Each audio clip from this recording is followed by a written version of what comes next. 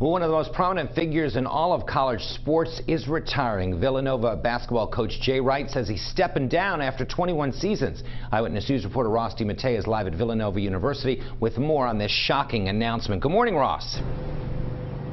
Good morning to you, Jim. Shocking is definitely the word here. I'm not sure how many people saw this coming, especially when you consider it was just a few weeks ago that Villanova was knocking on the doorstep of a third national championship under head coach Jay Wright, which just makes his retirement all the more shocking. So Jay Wright can already call himself one of the best college coaches of all time. We know that. No one can quibble with that. In 21 seasons at Villanova, Wright recorded 16 20-win seasons, 16 NCAA tournament appearances, six Big East Conference championships, four Final Fours, and two national championships, while his team won more than 72% of the games he coached.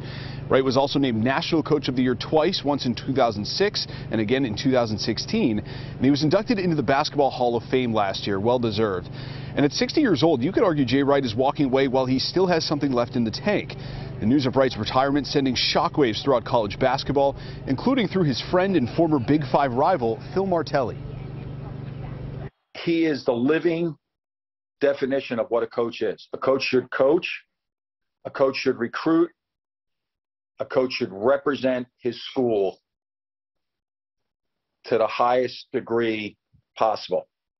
Jay Wright did all of those things. He certainly did. So what's next for Villanova? The university has already named Kyle Neptune as its next head coach.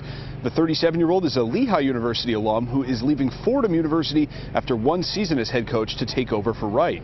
He served as a video coordinator for Villanova, uh, for Villanova from 2008 to 2010, and then he returned as an assistant coach under Jay Wright from 2013 to 2020.